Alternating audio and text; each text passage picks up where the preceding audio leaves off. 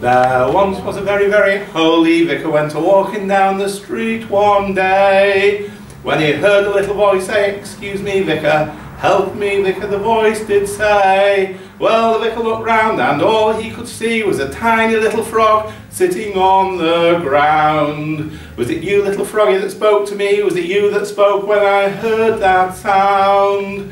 Oh yes, said the froggy, oh help me, vicar, I'm really not a frog, you see. I'm a choir boy, really, but a wicked fairy cast a nasty spell on me. And the only way that I can be saved from this evil spell, the little frog said, is for someone to take me and put me in a place where a holy man has laid his head. So the vicar took him home and put him on his pillow, and there they waited till the break of day. And the very next morning, a blessed miracle, the spell was broken, I'm glad to say. And there in bed lay the vicar and the choir boy, and I hope to you this all makes sense. For there, my lords and ladies of the jury, rests the case for the defence.